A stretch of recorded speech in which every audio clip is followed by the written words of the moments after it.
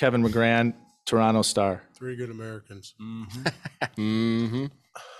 Hi, gents. Uh, congratulations. This is for each of you. If you don't mind a- answering it, we'll start with Ryan. Uh, I'm curious about what, what you did with the Stanley Cup last year, what you were able to do, and how you might enjoy your day with the cup this year.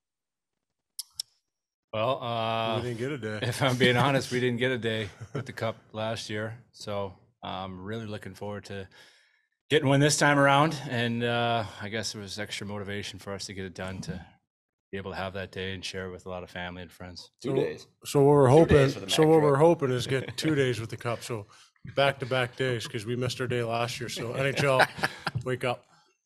Head NNC and Tampa Bay Times. Congratulations, guys. Ryan, this is for Ryan.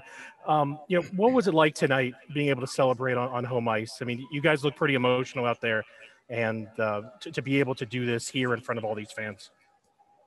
I mean, tough to put into words, really, after what we had to go through in the bubble last year. Um, we really wanted to seize this opportunity tonight in front of the crowd and in front of family and found a way to get it done. And it's been uh, a great feeling, and we're going to celebrate uh, all night long. Joe Smith, The Athletic.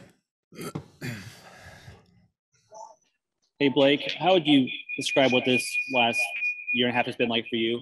Uh, you know, you come in at the deadline not knowing what you're into, and um, get two cups and, and two kids out of the deal. Yeah, I mean, uh, it's been unbelievable. You know, uh, personally,